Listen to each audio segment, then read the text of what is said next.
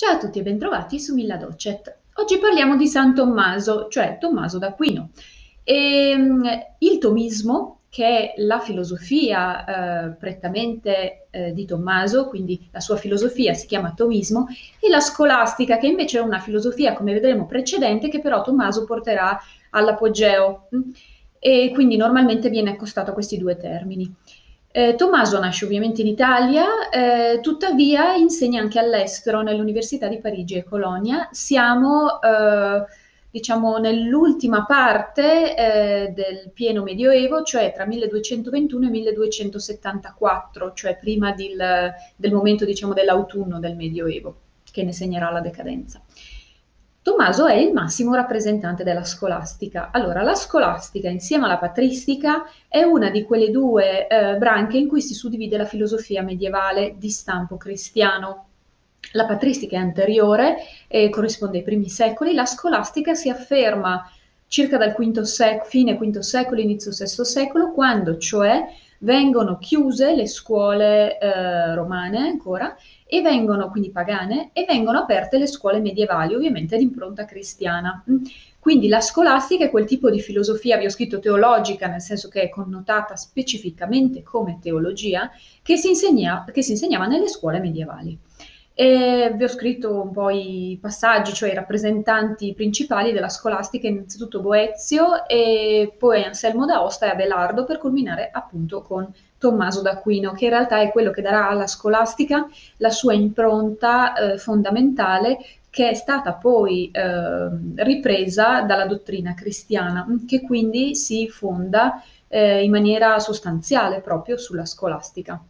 La scolastica, come vedremo, è di derivazione aristotelica. Mm? E mm, questa è un po' una novità perché ad esempio invece Agostino si rifaceva molto a Platone, non direttamente, ma soprattutto al neoplatonismo. Invece la scolastica, come vedremo, ha un impianto molto più strutturato, molto più ehm, scientifico quasi, mi viene da dire, che viene proprio da Aristotele. Allora, Tommaso era un domenicano, è stato discepolo di Alberto Magno e professore anche in alcune eh, università sia italiane sia europee. Partiamo dal concetto fondamentale, diciamo la vexata questio della filosofia medievale di sempre, e cioè il rapporto tra fede e ragione. Secondo Tommaso c'è una sorta di conciliazione tra questi due momenti, e cioè la filosofia è un preambulum fidei, cioè una preparazione alla fede. La filosofia e la fede sono dunque autonome o meglio, sono autonome nel momento in cui hanno metodi e strumenti completamente diversi che non sono riducibili l'uno all'altro, tuttavia complementari, perché la filosofia è come dire una prima ancella mh, hm, della fede. Infatti la filosofia porta tramite la ragione alle verità razionali e da lì, tramite la fede, si passa alle verità teologiche, che sono un passaggio successivo. Quindi la fede orienta la ragione, così come la teologia perfeziona la filosofia. La fede diventa dunque la guida della ragione e la ragione, ho scritto razione, beh, raggiunge verità universali, mm? mentre la fede parte dalla ragione per illuminare le verità teologiche.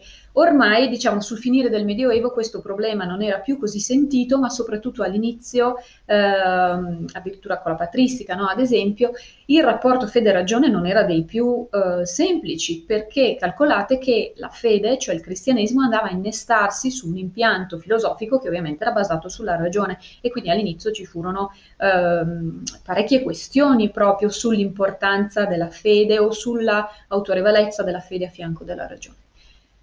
Allora, ehm, il centro su cui eh, si focalizza Agostino è Dio, mm, ovviamente è un filosofo cristiano, però mentre gli altri parlavano anche dell'uomo e del mondo, eh, Tommaso ne parla, eh, come dire, per inferenza, nel senso dice Dio deve essere l'oggetto primario delle riflessioni, perché solo a partire da Dio e quindi dalla rivelazione si può poi andare a tematizzare l'uomo e il mondo. Mm? Quindi Dio è proprio il centro da cui partono, mi verrebbe da dire quasi per induzione, sempre per usare un termine aristotelico, poi tutte le altre, ehm, per deduzione, scusate, partono poi tutte le altre deduzioni, appunto.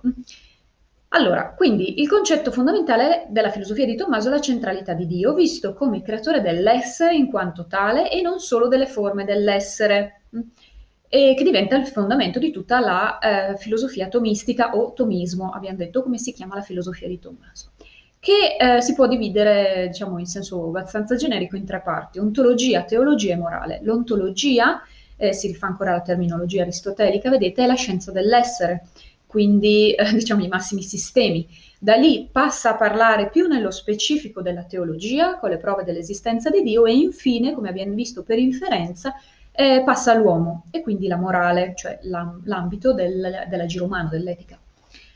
Allora partiamo dall'ontologia, che è la base, no? Abbiamo detto la dottrina dell'essere.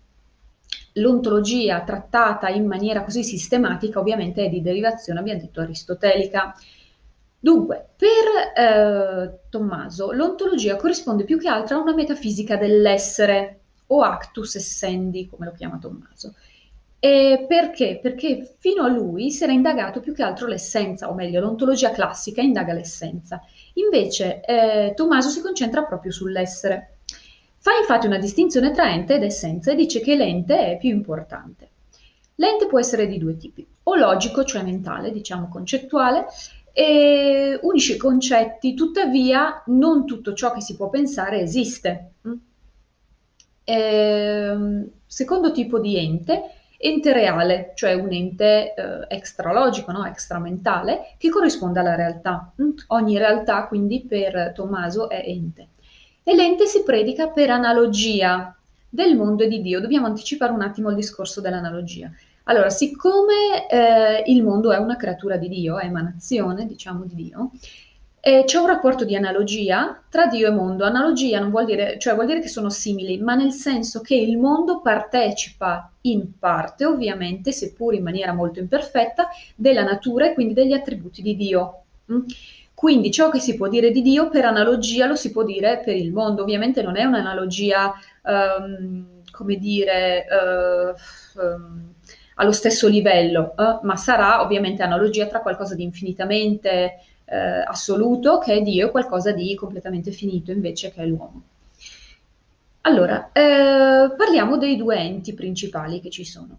Uno è Dio, cioè l'ente eh, sovrannaturale, e l'altro è il mondo. Per mondo ovviamente Tommaso intende eh, tutto il creato, mm, tu, quindi tutto ciò che non è Dio. Allora, Dio è contemporaneamente essere più essenza, cioè Dio è l'essere. Il mondo invece è pure essere, tuttavia non ha l'essenza, nel senso che non è necessariamente essenza, perché l'esistenza, che in questo caso è sinonimo di essenza, non è necessaria per il mondo, tant'è che può essere creato, ma può essere anche distrutto, no? Le creature, gli uomini possono nascere o morire. Mm? Quindi l'esistenza, ovvero l'essenza, non è compenetrata col concetto di mondo, ma è semplicemente una possibilità, un attributo. Mm? Questa possibilità, detto proprio in termini aristotelici, è atto, cioè actus, di essere essendi. Mm? Quindi il mondo ha come sua propria caratteristica l'actus essendi, cioè la possibilità di essere, letteralmente l'atto di essere, mm? Che eh, lo porterà all'esistenza, ma sarà un'esistenza di tipo contingente, cioè che ha un inizio e una fine mentre Dio è essenza eh, pura, quindi perennemente esistente e puro essere. Mm? Il mondo è essere, ma non necessariamente essenza. Quindi dice Agostino, eh, Tommaso, il mondo ha l'essere, mm? mentre Dio è l'essere, il mondo ha l'essere perché ce l'ha come proprietà e quindi in un certo contesto può averlo e in altri no.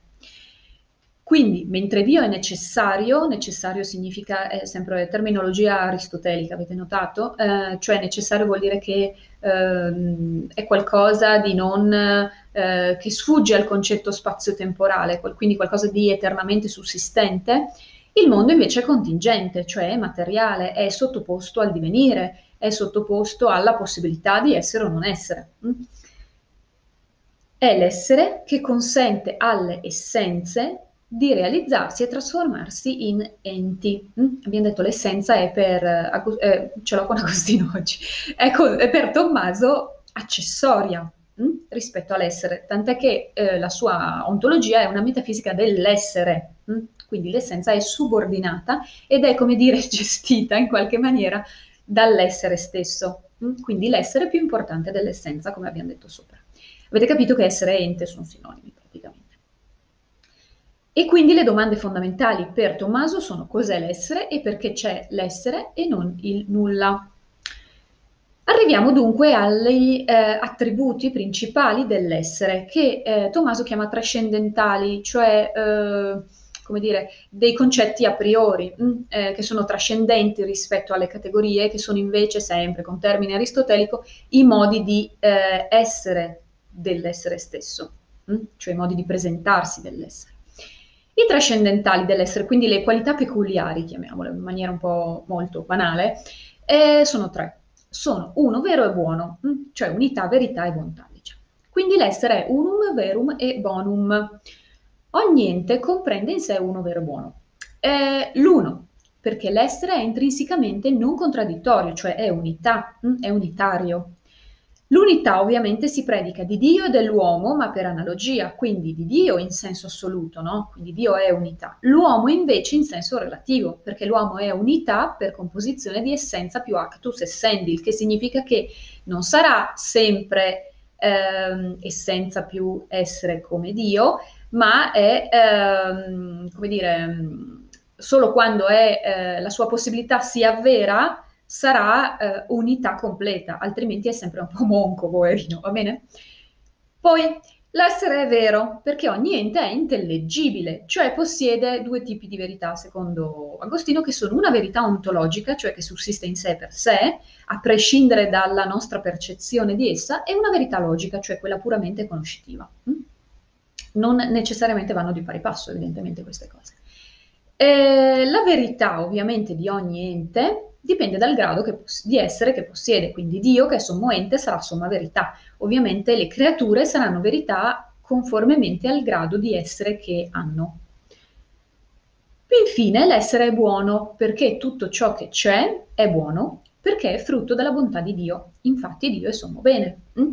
Ovviamente anche qui il buono si predica per analogia rispetto a, tra Dio e essere e mm, mondo e mm, secondo gradazioni. Mm? Quindi eh, ogni cosa sarà buona a seconda del grado di essere che possiede, stesso, sempre stesso ragionamento. Vedete che è molto metodico, no? Proprio aristotelico, puro. Allora, eh, quindi ne consegue che Dio è causa del creato, sì, in realtà questa era un po', diciamo, la premessa. Comunque, vabbè.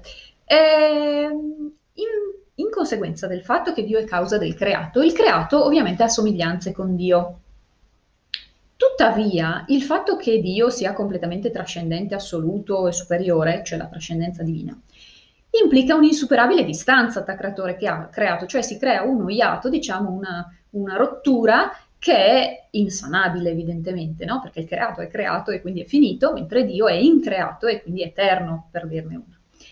Quindi la conoscenza umana di Dio può essere, eh, si dice che è apofatica, cioè come dire, mm, è solo per via negativa. Mm. Noi non possiamo dire cos'è Dio, ma possiamo dire cosa non è. Mm. Quindi Dio non è umano. Però insomma, è la prima cosa che mi è venuta. Dio non è eh, finito, ecco. Dio non è finito, Dio non è sottoposto al divenire, eh, Dio non è quello che volete, è contingente. Mm?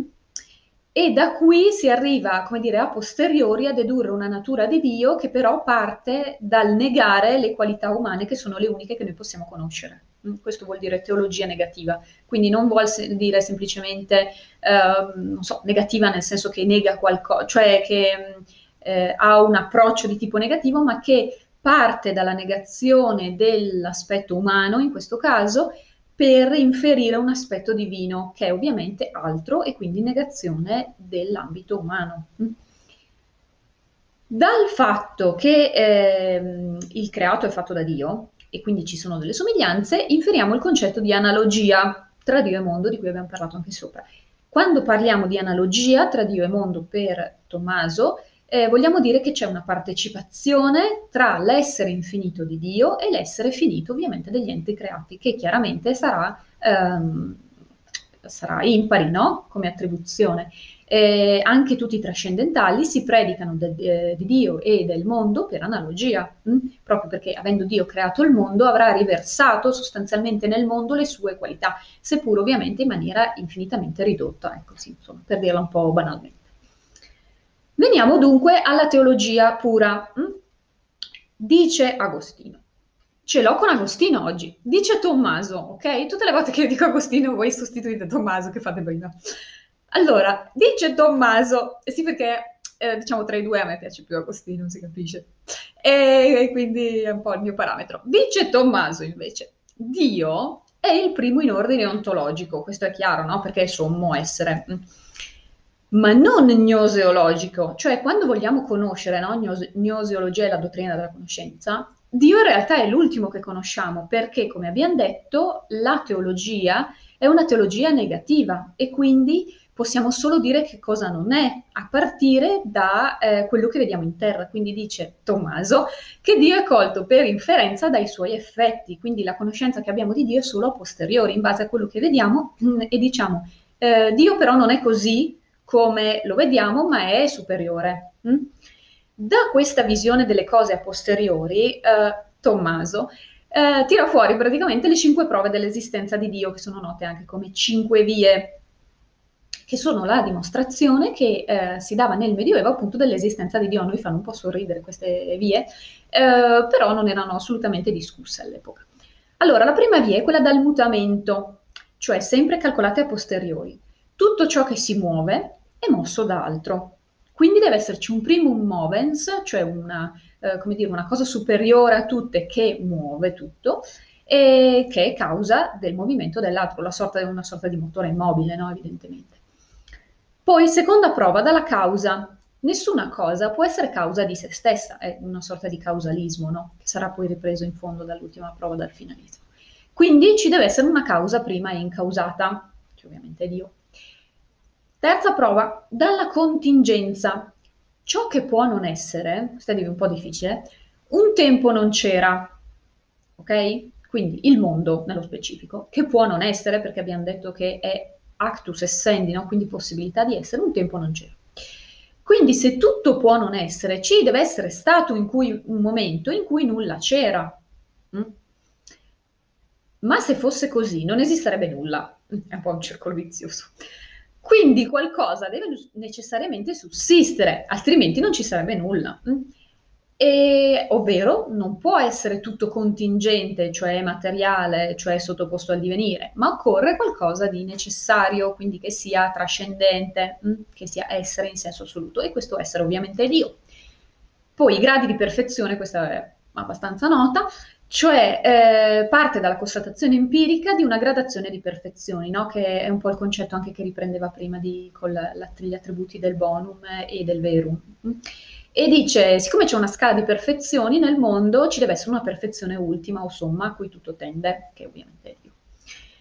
Poi c'è il finalismo, allora, secondo il finalismo, eh, i corpi agiscono per un fine. Mm, diciamo che è, la, dire, il, è, il, contrappunto del causalismo. Mm, la causa è prima, il finalismo è dopo, però è la stessa cosa, cioè lo stesso eh, concetto se non altro. I corpi agiscono per un fine e quindi sono diretti da un essere intelligente, una, sì, da un essere intelligente e quindi questo essere è Dio. E queste sono le cinque prove. Poi arriviamo infine, abbiamo detto, all'uomo perché eh, Agostino parte da Dio e poi dice da Dio deduciamo tutto il resto. Mm. Arriviamo all'uomo, cioè alla morale, eh, o anche detta etica, che è la, eh, la sfera dell'agire umano. Mm. Agostino, dai, questo Agostino, niente, non ce la posso fare. Tommaso eh, tematizza questi due concetti, libertà e libero arbitrio. Allora, secondo Tommaso, ho detto Tommaso, l'uomo è natura razionale, vabbè, e quindi conosce il fine delle cose, tuttavia non di tutte le cose, no? Cioè conosce il fine delle cose che lui conosce, ma non il fine ultimo di tutte le cose, cioè Dio, mi ha detto infatti che di Dio non è possibile una conoscenza se non per via negativa. Sì, infatti, se l'uomo avesse la visione di Dio, ne sarebbe attratto. Mm. Ma cosa succede? Che questo non si verifica molto spesso perché? Perché l'uomo non lo conosce o meglio, conosce solo i fini parziali, quindi conosce le cose che può esperire, che può sperimentare. E quindi, conoscendo solo fini parziali, non ha sempre l'attrazione verso Dio, anzi quasi mai, ma piuttosto eh, è libero nel voler perseguire o meno i fini parziali. Ok? Quindi diciamo è una pecca umana il fatto che eh, essendo finito la sua conoscenza è fallace e quindi non tende a Dio per un deficit, diciamo, di conoscenza, ok?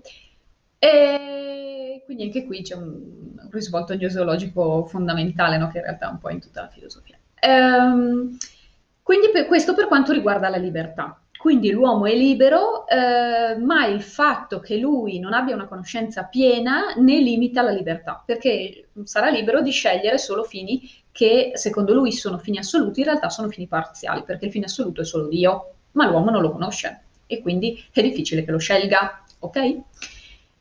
Poi parliamo di libero arbitrio, che è un concetto ovviamente correlato a quello di libertà. L'uomo anche una disposizione naturale a comprendere il principio del bene e del male. Ok. Tuttavia può scegliere ovviamente di rifiutare il bene in favore del male e quindi compie il peccato.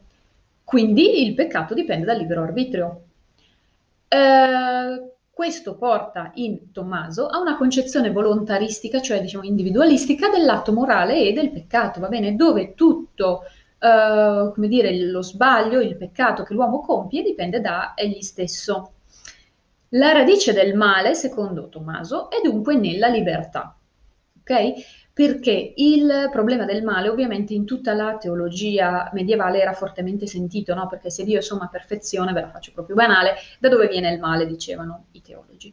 E, ehm, in realtà tutti dicono che eh, il male è sempre eh, causato dall'uomo. Mm? Nello specifico, per Tommaso, il eh, male viene o da un uso ehm, scorretto del libero arbitrio, o da un uso sempre diciamo scorretto, cioè eh, incoerente della libertà. Mm? Quindi la radice del male è nella libertà e quindi in ultima analisi nell'uomo. Mm? Certo non viene da Dio.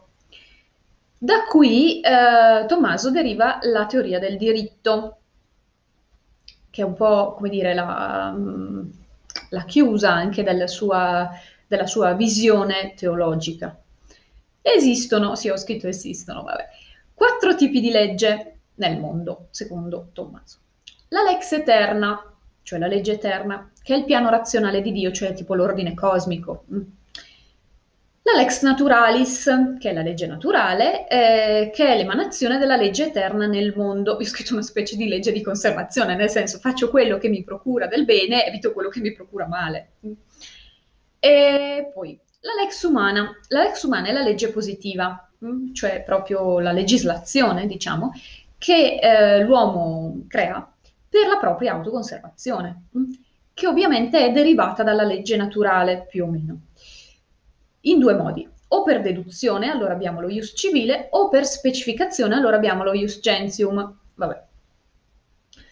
Poi, eh, l'ultima, attenzione, superiore a tutte, è la lex divina, che corrisponde con la rivelazione di Dio. Mm? Allora, dice Tommaso, le prime tre leggi sono espressione della lex eterna la lex naturalis per quanto riguarda il mondo e la lex umana per quanto riguarda l'uomo, quindi sono tutte eh, diciamo derivate dalla lex eterna, se non altro in teoria, mm, perché la lex eterna si esprime nella lex naturalis nel mondo e la lex naturalis si esprime nell'ambito umano nella lex umana, ok? E, e, quindi va bene, nel senso sono da seguire in quanto eh, esplicitazione della lex eterna. Tuttavia, la lex divina è su tutt'altro piano, infinitamente superiore, perché, corrispondendo con la rivelazione cristiana, mira al fine soprannaturale dell'uomo e quindi alla beatitudine celeste. Quindi Agostino dice, uh, va bene le prime tre leggi, mh? Hm? E, tuttavia, se l'uomo deve scegliere, deve sempre seguire la lex divina, perché il suo fine non è terreno, ma celeste. E questo è Tommaso, ok? Eh, sono stata un pochino rapida, quindi se volete che approfondiamo dei punti me lo dite. Grazie dell'attenzione, alla prossima.